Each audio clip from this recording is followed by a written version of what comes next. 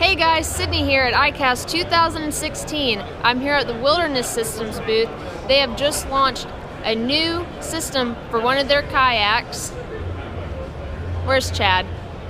Hey, hey Sydney. Here he is. I have Chad Hoover here with Kayak Bass Fishing to tell you guys about the new Wilderness Systems Radar 115. All right, guys. Thanks, Sydney. So here's the deal. This is the new boat, pedal drive operated. Actually, that's selling it short. This is the new triple threat from Wilderness Systems. The Radar 115 is a pedal boat that is also a great paddling boat that is also a boat that you can easily power. Let me show you what I'm talking about. The core competency of this boat is you've got the pedal drive, you've got the standard flex pod that's been included on the Thresher, the Tarpon X, um, the Attack series, and it's just become a staple of the Wilderness Systems lineup. It allows you to put your transducer on there, your battery inside, mount your depth finder on there. Because of the pedal drive, the head unit's moved off to the side on this one. But if you take the flex pod out, you got the opportunity to just drop this motor drive right in. So you simply drop that motor in there. That allows you to do the Helix MD, which is motor drive. It's sitting on a stand now, so it's bottoming out, but you get the picture. The motor just drops in. When you take the pedal drive out and you put the motor in, you don't lose functionality of your electronics. So there's another flex pod that drops in that even has a scupper big enough to fit the largest transducers on the market.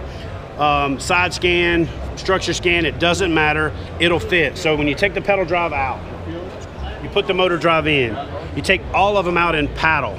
You use your flex pod for your electronics when you do that. You have a secondary scupper. You can put both flex pods in if you want to run a standard transducer and you want to run structure scan.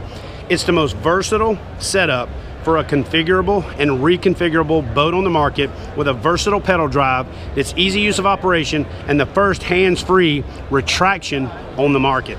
So I'm excited about the new ride, I'm oh, sorry, I'm excited about the new Radar 115 and it's a family boat. What that means is, is it comes in a 115 and a 135, a 13 and a half foot version and an 11 and a half foot version for a smaller, more compact, easy to maneuver or a longer boat that you want to cover more water, uh, go further distances. And again, don't forget the big thing with these boats is that you can paddle them. They paddle really well, like, like the legacy of Wilderness Systems kayaks.